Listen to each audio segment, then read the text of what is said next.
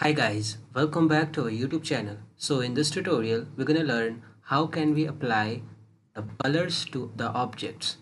So for that we have the objects here. So to apply the color on it, select the part of the object or you can select the complete object and then you have to click on this by layers option.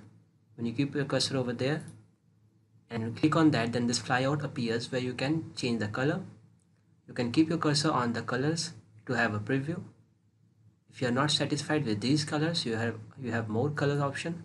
Just click on that and this box appear where you can change the color by index color.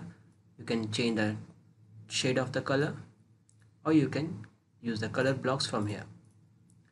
Also if you have some color code then you can apply here and you can click on that. For example I'm selecting this one.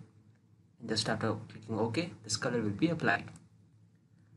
Similarly you can use a shortcut select it and use the shortcut COLOR enter and again this box appears where you can select again the color and then click on OK.